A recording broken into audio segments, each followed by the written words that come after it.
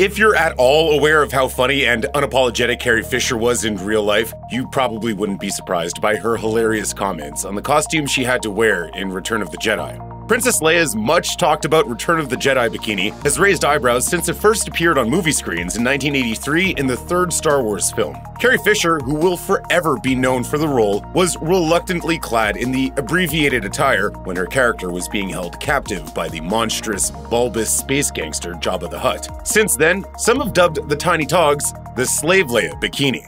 What do you think, Ralph? How do you like it? Where's the other half of that costume?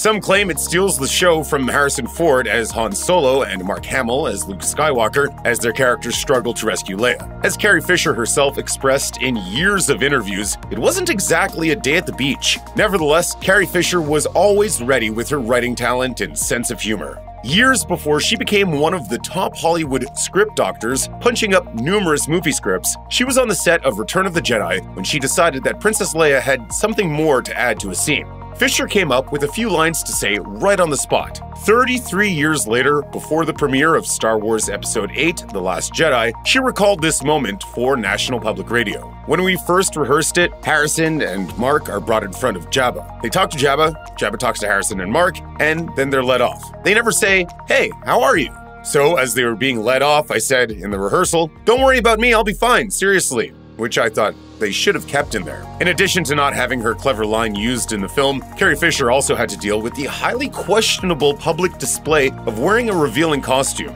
In the movie, she was forced to wear the costume by Jabba the Hutt. You tell that slimy piece of worm-ridden filth he'll get no such pleasure from us, right?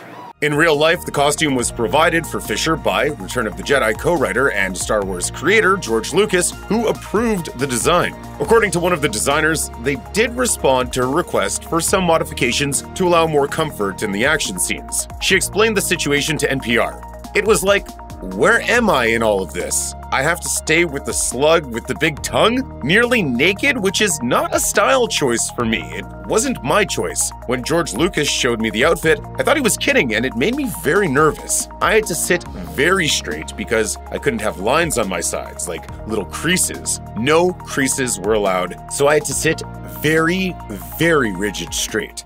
But tell me why I can't. No, no, there is no why. However, Fisher admitted that there was a silver lining to the scene. In retrospect, she used the experience to enhance her performance. As she explained, what redeems it is I get to kill him, which was so enjoyable. I sawed his neck off with that chain that I killed him with. I really relished that because I hated wearing that outfit and sitting there rigid straight, and I couldn't wait to kill him. Princess Leia's golden bikini may have been brief, but there was no telling how long Fisher's love hate relationship with the costume would go on.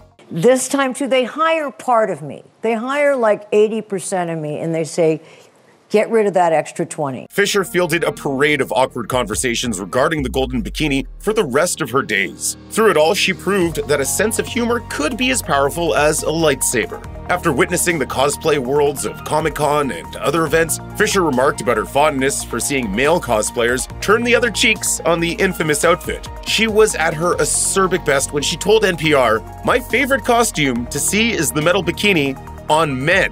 That is what has been happening a lot a lot. And not thin men, by the way. So that makes me feel good about myself, kind of a before and after thing.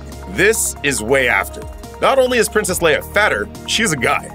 Carrie Fisher's NPR interview would be among her last. She would pass away one month later. However, as Luke Skywalker said, No one's ever really gone. Accordingly, fans will never truly be without the wit, wisdom, and talent of Carrie Fisher. It's almost always a few clicks away.